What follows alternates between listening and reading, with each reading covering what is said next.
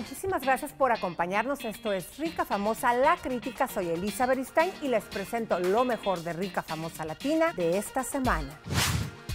El problema de esta semana fue porque Lucelva le dijo a Sisi que Pablito era un bastardo. Pues claro que legalmente es un bastardo. Aunque no quiera aceptarlo, esa es la cruda realidad. Bueno, a pesar de que Lucelva sostiene llamarle así al niño claro, en los confesionarios con las señoras no lo dijo así.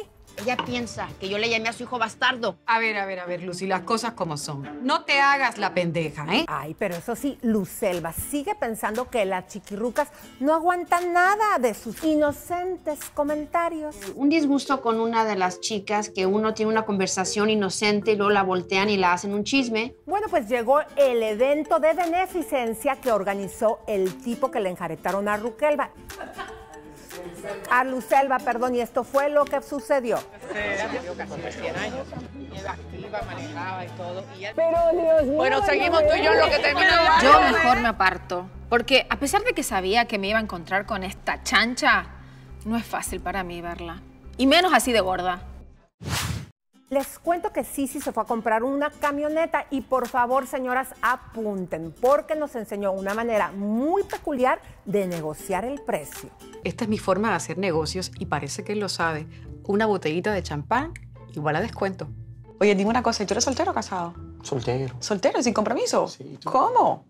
Oye, ¿y este y no lleno papeles yo aquí o me, me llevo el carro gratis o cómo lo hacemos? Está listo, pero no quiero que te vayas, por eso es que no lo he hecho todavía. ¡Qué rapidez! Salud. Me tomo lo que queda. Oye, ojalá que te vuelva a ver de verdad, pues. ¿Eh? Ojalá que te Me vas a quedar en mi ver casa, let's go. No puedo manejar así. Perfecto, Bueno, cada quien, digo, digo, digo, cada quien negocia con lo que tiene. ¿Y cómo la ven que las chiquirrucas se fueron a la obra de teatro de Niurka? Y esta que creen que se encuera así todita y estas se quedaron así, ¡Oh my God! Falto yo por probarme.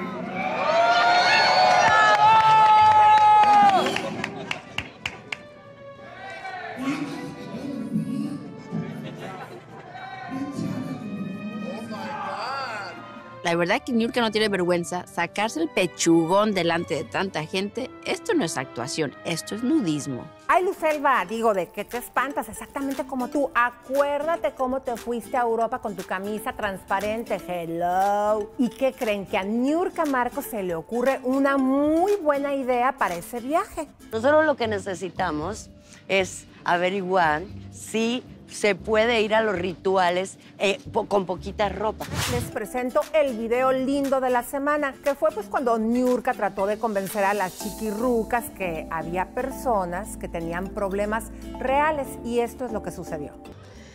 Y démonos, o dense cada una una oportunidad de no ir por la vida haciendo guerras, ah, porque hay tantas cosas lindas que disfrutar de la vida. Qué lástima, Margarito, no funcionó. Yo realmente no puedo confiar en Niurka. Imagínense, una vez confié en ella y me traicionó. Me clavó un puñal por la espalda después de que le abrí mi corazón.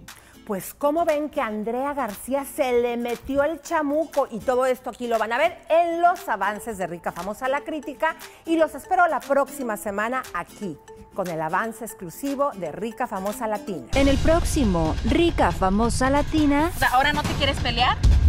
¿Nos vamos a pelear nada más cuando tú quieras? ¿Qué te pasa? Estás como que no. Estás Yo te hablo y no me escuchas. Ella tiene que darle permiso a entrar. exactamente. si no, no puedo hacer nada. ¿Eso qué? Es ¿Es tipo exorcismo o qué? En esta guerra, el que da primero da dos veces.